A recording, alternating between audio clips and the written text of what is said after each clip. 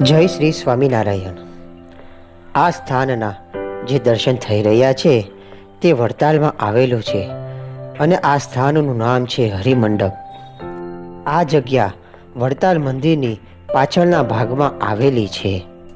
સંવંત અઢારસો બ્યાસીમાં શ્રીજી મહારાજ જ્યારે વડતાલમાં હતા, ત્યારે તેમણે વિચાર્યું હતું કે ઘણા જીવના કલ્યાણને કાજે મારે એવું એક શાસ્ત્ર રચવું છે, જેને કારણે સમગ્ર જીવનું આ લોકમાં અને પરલોકમાં જેમ મેં કહ્યું છે, તેમ જો કરશે, તો કલ્યાણ થશે. આ લોકમાં પણ સુખી થશે અને પરલોકમાં પણ સુખી થશે.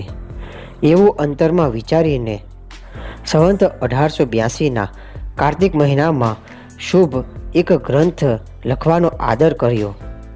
અને તે ગ્રંથ બીજો કોઈ નહીં, તે શિક્ષાપત્રી, જે એક માત્ર ને એક ભગવાન શ્રી સ્વામિનારાયણે પોતાના સ્વહસ્તે લખેલો સદગ્રંથ છે. વસંત પંચમીના દિવસે અઢારસો બ્યાસીમાં આ શિક્ષાપતિ ગ્રંથની પૂર્ણાહુતિ થઈ.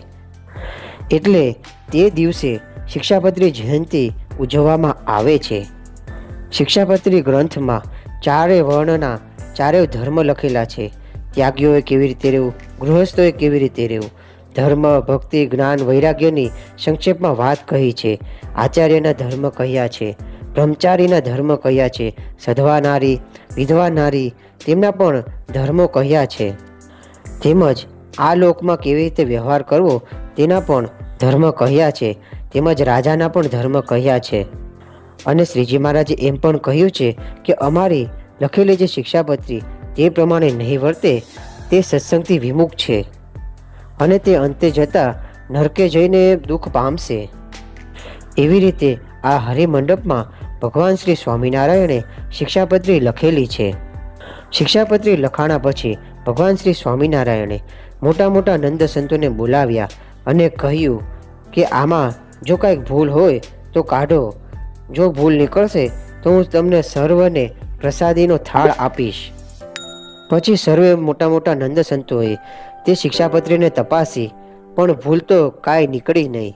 ત્યારે સર્વે બોલ્યા કે આ શિક્ષાપત્રી તો સર્વોપરી છે. અને આપે જે શિક્ષાપત્રી લખી હોય, તે સર્વને યોગ્ય જ હોય. કારણ કે આપ તો સર્વજ્ઞ અંતર્યામી છો.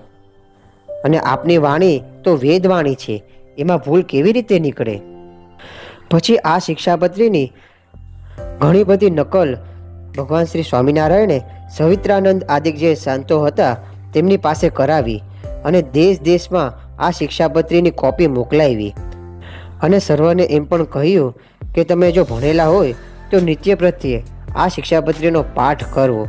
અને જો ન ભણેલા હોય, તો આ શિક્ષાપત્રીનું શ્રવણ કરવું અથવા તેની પૂજા કરવી.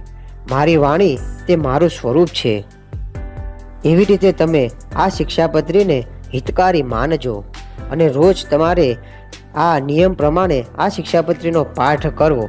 અને જે દિવસે આ શિક્ષાપત્રીનો પાઠ ન થાય, તે દિવસે એક દિવસ ઉપવાસ કરવો.